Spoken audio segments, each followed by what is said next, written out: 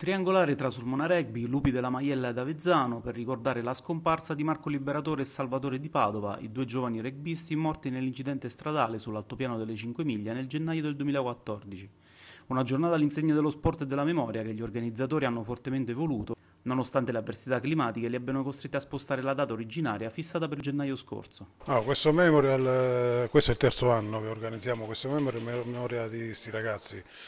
Si doveva fare il 18 gennaio, la data in cui c'è stato purtroppo l'incidente. È stata spostata ad oggi perché causa neve, eh, non, potuto, non, siamo riusciti a farlo a gennaio, eh, però comunque ci teniamo a farlo, abbiamo fatto tanto per eh, organizzarlo. Ci sono delle squadre che beh, ci sono venute a trovare, ci hanno dato la loro adesione e oggi insomma, riusciamo finalmente a fare questo terzo evento. Noi siamo fieri e orgogliosi di portare avanti questo discorso anche del rugby qui a Solmona. Salvatore Marco, il